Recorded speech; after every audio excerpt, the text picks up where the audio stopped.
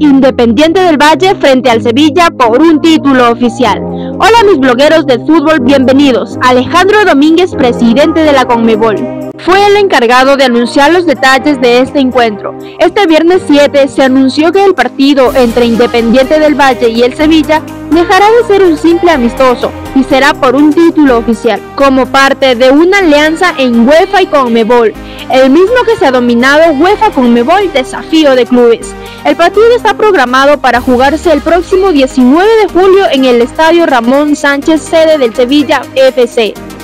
El formato del torneo no contempla extras si los 90 minutos terminan empatados, por lo que se irán a tiros penaltis directamente en un partido único. El campeón de la Europa League y el campeón de la Copa Sudamericana a por nuevo título. Comenta si este partido debió jugarse ida y vuelta. Y recuerda, suscríbete a este canal Mi Bloguero del Fútbol.